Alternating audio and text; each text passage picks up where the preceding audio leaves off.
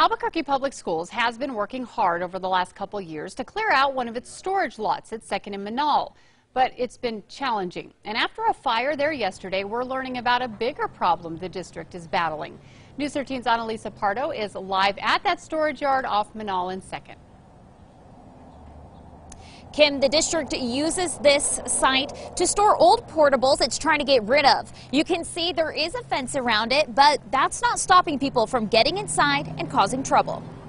It's a place most people never think of that's becoming a little too inviting. I would say that over the last two years, we've seen an increase of issues. Issues like littering, drug use, and even a fire on Thursday. So we've had issues with the homeless breaking in and trying to use those portables for a place to stay uh, and to do other things. Everybody's struggling to deal with this really crisis that the city's facing. Elder says it's doing what it can to maintain the school district's storage yard for old portables near 2nd and Menaul, like putting up fences and sending APS police officers to clean up trash and monitor the yard. We send our police down at least three times a week. APS is even trying to sell those portables to nonprofits so they can take them away and use them as shelters. We're here to to support that kind of initiative because it's beneficial to the community and it's beneficial to us. But those organizations need to raise money first. Legally, the district has to auction off the portables because they're state property. If I could get rid of all of them tomorrow, I'd be happy to do it.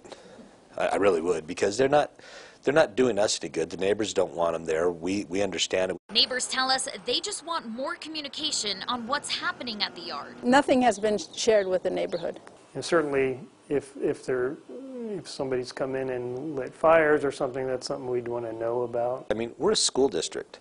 We should be focusing on educating kids and putting money in the classroom, and here we are putting resources in to protect property. It's state property, we have to protect it, and the neighbors down there expect us to maintain as best we can. Now, the district is having more success these days selling those extra portables. It moved to an online auction system last year, which it says helped them sell 40 portables in a year. Kim? Okay, thanks, Annalisa. Now, the district says it will have to pay at least $6,000 to demolish and remove the three portables damaged in that fire yesterday. AFR says they do not have any suspects. The